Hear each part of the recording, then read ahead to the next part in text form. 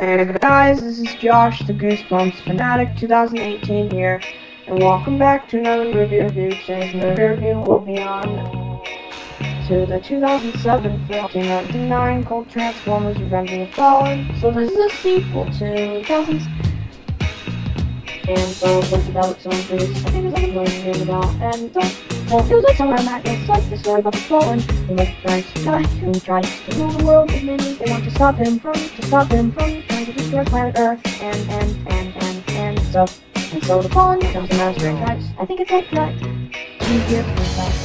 Yeah, it's Egypt. Um, this guy like they're going to Egypt, Egypt or something. Yeah, it's Egypt. Um, this guy like they're going to Egypt and they try to steal the Matrix.